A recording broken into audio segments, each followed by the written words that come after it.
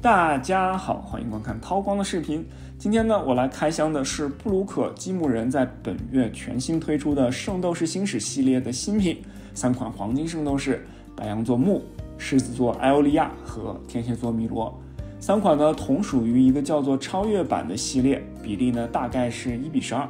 首先展示一下外包装，三款呢使用统一的设计，正面是玩具的图片和一些名称以及 logo 元素。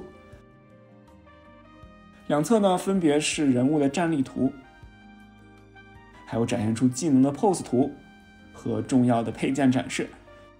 顶部也是玩具的特写图片。封底融合了漫画页作为背景啊，也显示了这个系列是以漫画为原型来设计的。还可以看到拼装板件和其他的一些图片展示。因为布鲁克积木人呢是需要这个拼装的，再加上三款黄金，无论是零件配置还是拼装步骤呢都极其相似，所以呢我就以白羊座为例，快速的展示一下拼装过程。其他两款呢我们之后直接看成品就好。如果三款的拼装过程都演示啊，可能就太过浪费时间了。OK，首先看一下白羊座的内容物，一共有六包零件和一本说明书。板件标注的非常清楚，和说明书对照，按顺序拼装就可以。唯一可能需要说明的啊，就是这一包呢装了各种关节和杂七杂八的配件，所以拼装时呢遇到没有标号的零件，在这里找就对了。另外，预购所赠送的披风呢是另外分装的，不在包装盒里。根据介绍，这款的板件呢都是无需工具，手指按压就可以取下来的。下面直接快速展示一下组装过程吧。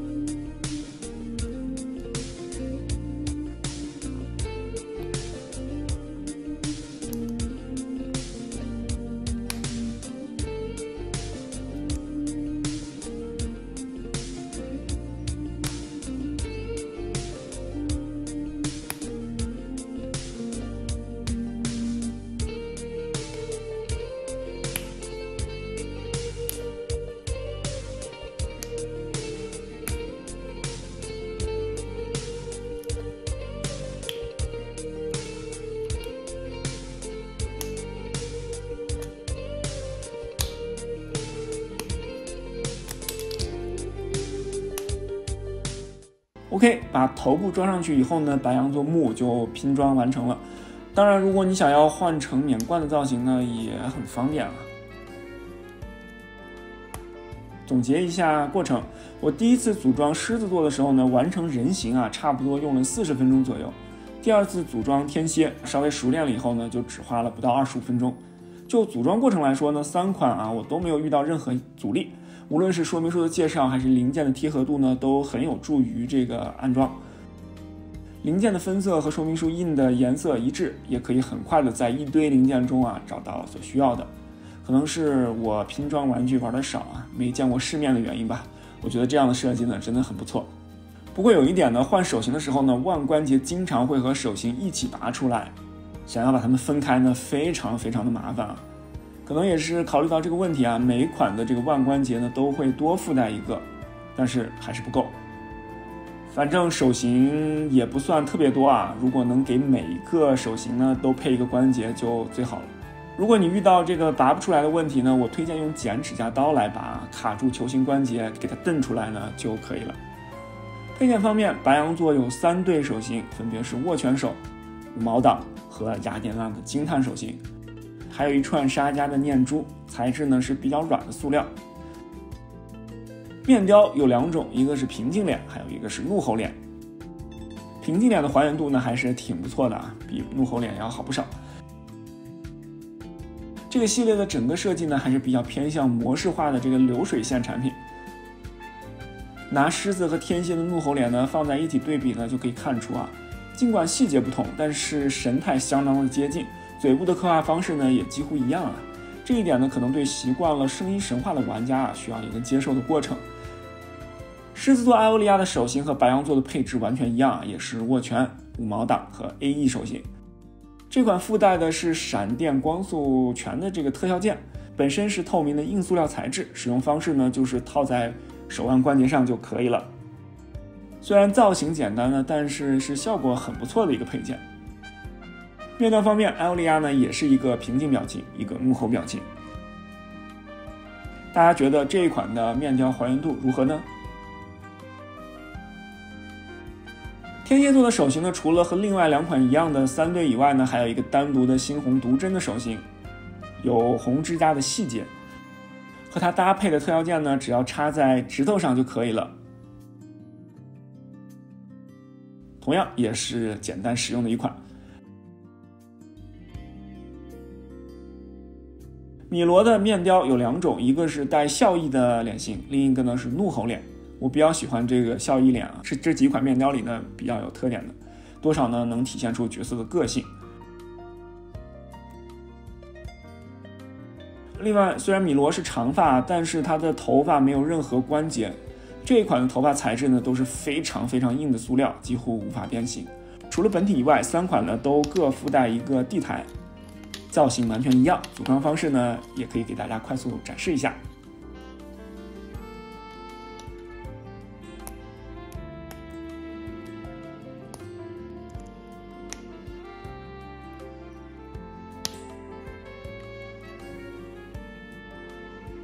我个人觉得地台真的是一个很不错的配件啊，不仅可以搭配玩具，非常的合适啊，想给其他的圣斗士玩具使用呢，应该呢也没有问题。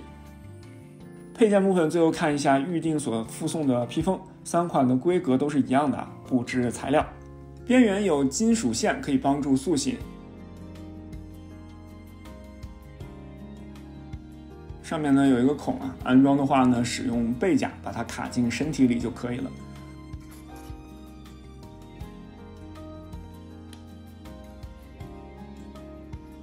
造型方面，我能感觉到啊，设计者呢还是想还原黄金圣斗士宽大披风的感觉，所以从背后看呢，还真的挺有感觉的，有不错的还原度。但是这个几乎是直角三角形的这个形状的披风啊，正面看呢就会显得两侧的面积太大了，即便是把披风折回来，仍然是呢有些许的怪异感。OK，配件全部看完。我们最后呢看一下玩具的素质和可动。当组好成品以后呢，我突然有种感觉啊，这款的造型除了参考了老车的漫画版以外呢，似乎呢还有 3D 动画版的这个圣斗士星矢的影子。人物从脸部到身材，比原著的人设呢要更幼年一些的感觉，不知道大家是否有同感啊？由于是漫画版，圣衣的花纹呢自然是更加的复杂，配色也是漫画版，基本没有分色。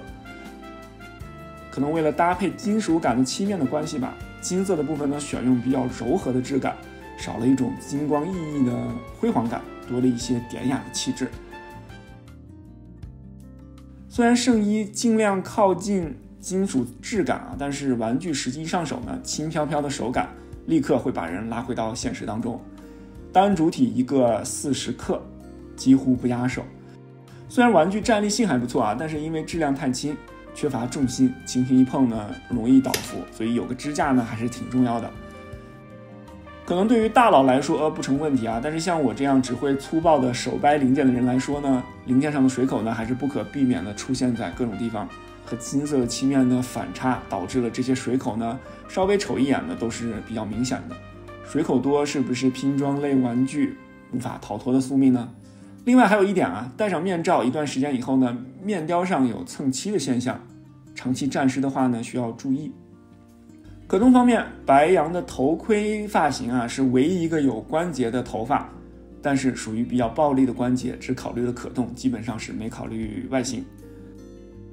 低头可以达到四十五度，仰头几乎做不了。左右歪头呢都有一定的角度，头部可以向两个方向各旋转二十度左右。这款的头部活动小呢，主要还是发型阻碍。短发的艾欧利亚呢就可以三百六十度旋转头部。白羊座的羊角呢也有一定的活动范围，手臂侧平举可以超过水平线，上举受到肩胛的阻碍啊，无法垂直于地面。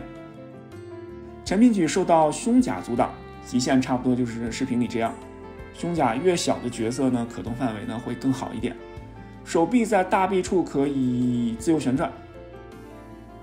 小臂甲的外层呢，由于是卡在上面的，所以呢也可以转动。手肘弯曲可以达到一百三十度以上。胸腹关节可以转动一周，在各个方向上呢都可以略微活动。腰部同样可以旋转一周。相较起来呢，腰部比胸腹关节呢要紧很多。我感觉上半身的动作呢，主要还是要依靠胸腹关节来实现。裙甲的四个分件抬高的极限呢，差不多就是视频中这样。髋关节正踢几乎可以达到九十度，腿向斜后方向拉呢也是九十度，横叉几乎可以达到一百八十度。髋关节可以下拉，不同高度的黄金呢，可以用这个方法进行身高调节。膝关节可以对折，幅度非常的大。踝关节采用山口关节和球形关节复合的设计，可以上下转动，接地性也还可以。前掌掌可以抬高差不多九十度。打完之后呢，大部分关节的紧实度都不错啊，阻尼感相对比较小的呢还是胸腹关节。另外，作为拼装玩具呢，虽然关节很紧啊，但是身体零件肯定是比 SHF 那种呢更容易脱出。打完的时候呢，要小心一点。三款首批的超越版圣斗士体验下来呢，我还是比较满意的啊。在市面上可动圣斗士选择太少的情况下，以这个发售价格甚至更低的价格入手啊，对于圣斗士的粉丝来说呢，是很不错的一个选择。相对于我们熟悉声音神话以展示为主的特点呢，布鲁克积木人呢，则更侧重于把玩功能啊，也是可以满足有这部分需要的玩家，不仅好掰，而且呢不心疼。主要的问题呢，我前面也提到了，一个就是手型关节替换麻烦，还有一个个人觉得就是水口不修的话呢，还是偏多。另外就是面雕种类稍少。除了这些问题以外呢，我最大的愿望啊，就是在保证水准的情况下，布鲁可可以尽量在这个比例上多出角色。毕竟玩圣斗士的玩家们都懂啊，没有什么比共鸣更吸引我们的了，对吗？OK，以上呢就是本期开箱的全部内容了。如果内容对您有所帮助，你也喜欢圣斗士呢，别忘了订阅我的频道。我们下期见。